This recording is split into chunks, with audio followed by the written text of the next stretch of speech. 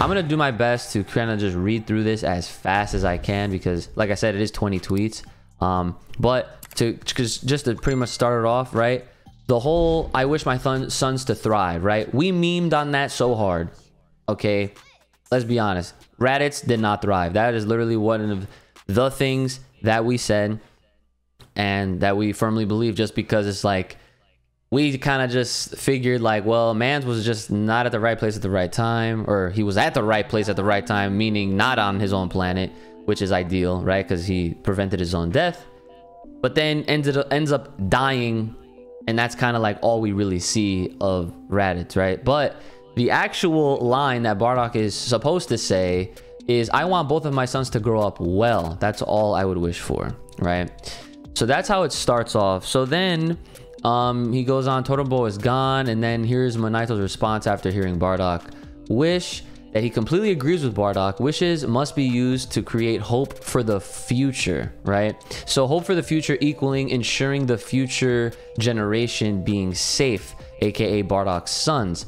And this is actually an interesting point though, because basically what they go on to um, say is that like wishes should do just that. They shouldn't be selfish wishes, right? So, um, so the fact that originally, if you guys remember, Minato was going to wish for Bardock to go back to planet Vegeta, right? He was gonna have him go back so that way he was safe away from gas being a threat, and and essentially, basically, Minato took responsibility and ownership of their like doom that was about to happen. Like because if Bardock wasn't there, he would have died, and and freaking uh, Kid Granolah would have died too, right? So in this context, it's almost taken as if like that would have been selfish. It would have been more selfish to do that to you know send just Bardock, right, and and save him over what Bardock you know said was like I want my sons to grow up strong type stuff. You know what I'm saying? So this makes a little bit more sense. And you guys can feel free to just cut me off at any point if there's anything that you guys want me to like, I don't know, maybe like go over a little bit more. Um No, you're just kind of recapping, so it's all good right now. Yeah, okay. Yeah. So so yeah, so so so all that, right, is is what is like the kind of like back and forth like the like the concepts of like what's a selfish wish and then what's not a selfish wish and you know how Minato did change his mind because he realized like yeah like that you know would be the best thing to do is to you know take take Bardock's word and you know help the future right? And it's so funny because Bardock, even though he's been he's he's pretty much written differently for Dragon Ball Super now, he still has like those future themes that he remember like he had that in the original version of how he was and he like saw into he literally saw into the future. Like he we haven't seen him doing that now. But I feel I still think that was a little interesting that it's like damn even though like he's different he still has like a little like some flavors from how he used to be. Or not used to be but you know what i mean. Yeah. um uh so then so yeah obviously the whole part where like we don't actually see the wish you know being granted. Um but it's kind of like up to interpretation low key in a sense. Um just because like yeah we didn't see it and that's kind of like what causes like all the speculation and all that kind of stuff. Um but we're gonna get into where the wish kind of took effect like as you know i guess proof that it definitely did happen right? So dbs chronicles goes to say let's say bardock wish was granted right?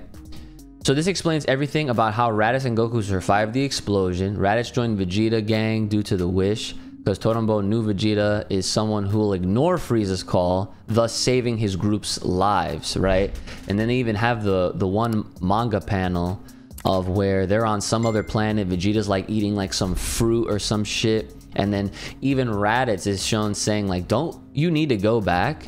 You are the prince after all. And then Vegeta's like, forget it. we'll just pretend we didn't hear it, right? So that's like a way that you know one would feel like okay, like this is this is like some evidence, right? And then obviously as far as now, oh, and obviously like you know I'll just say this to get out of the way, like Bardock went back to put Goku on the freaking pod to send it to Earth, right? That much is obvious. We already know about that, and then we know what happens after that, right?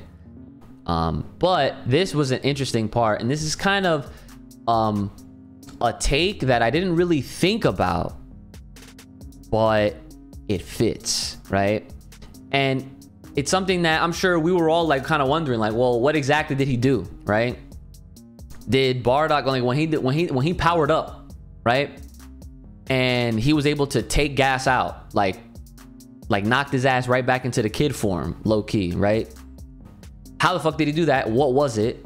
You know, what do we even call that? Was that something? Was it? it was this what Broly did? You know what I'm saying? Like that's what mm, Right. pe- people ask, right? So he makes a good point here, and he says that as for Goku, Torombo gave a boost to Bardock, which he thought of as a Saiyan's evolution. Torombo knew the only way to ensure Goku grows up well is Bardock surviving this in one piece.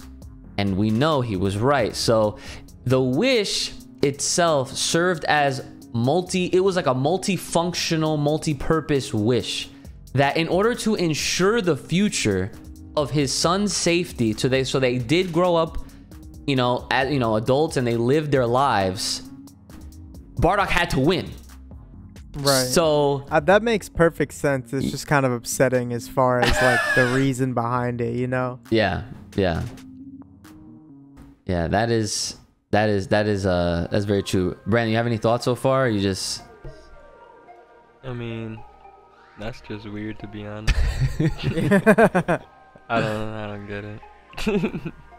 all right. So so yeah. So so that is kind of like the the evidence supporting this whole Bardock power up, right? Um, now here's the, here's another interesting. It even goes a little bit further in, within the same chapter, right? So then he says, "Now Bardock defeated Gas with a power boost by Torombo. He's tired. Then comes Elec, skilled shooter. Elec shoots Bardock, but he misses. Okay, he misses because the wish is still protecting Bardock, right? So then he fur and then he further fires three shots, but none of them reached him. And then right when he was about to shoot him over the fucking the cliff, right? Frieza called.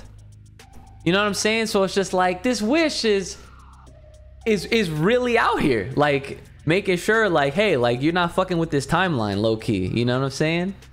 But is When that you- just Yeah. like a coincidence? But Like, what see- if but it is it is a a coincidence? coincidence? But, It's But that's it a bunch of chain coincidence? reactions doesn't make no enforce that sense, something bro. like someone gets saved. Bro, like I feel like it's a bunch of bullshit, bro. Niggas are just overthinking, bro. I'm just shutting this shit down right quick, right next quick. please. What's up? yeah, I know, bro. Like, like, like. First of all, th- th- hold on, bro. Oh, here we go. Here we go. Didn't Bardock Bardock decline the first wish, right? So so the- remember that, right? The wish He- that he was offered to be sent back to Planet Vegeta, yes, he said no. I don't want that to happen. I would rather die fighting. Right. So after that, he wasn't like there was no there was no projection for like a second wish for him in that. From what I remember, like the the man's didn't ask for another wish. He, this man Bardock just like made his own wish up, like if there was a wish or whatever. Like, right. Like You know what I mean? this is so yeah, so this is this whole thread is basically like trying to prove that if that was in fact a wish, there's evidence backing up the wish. If it was if, I- it, if it was real. I mean, but but for the wish to even happen, the man needed like the dragon or whatever needed permission from Bardock itself.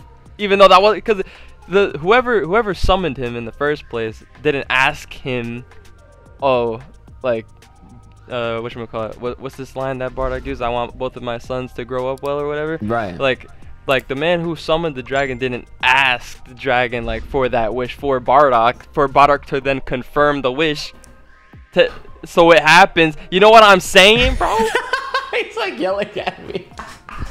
Does that not make you see what I'm trying to say though? Like it's hard to word it just because like you know I'm thinking fast, but Well, okay, think of it like this.